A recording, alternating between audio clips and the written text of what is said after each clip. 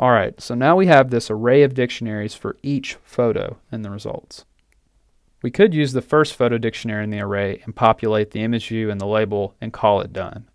But to give the user the best experience, we should pick a random photo from these dictionaries so that the user has a chance to see a different image each time they press the button in the app.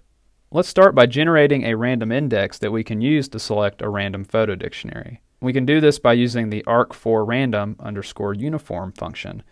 And this returns a number from 0 to the argument that we specify.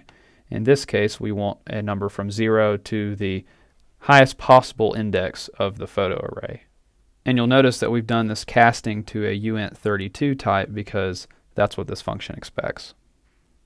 We'll do this in the same way that we access the other values, but we want to make sure that we use the randomly chosen photo dictionary here and here, and we convert both of the values to strings. So we're converting the medium URL to a string, and we're converting the title here to a string.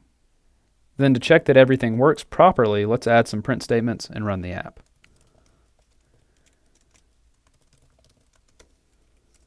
Awesome, now we're getting the URL and the title. And I know this is a really long, bad title, but it is a title.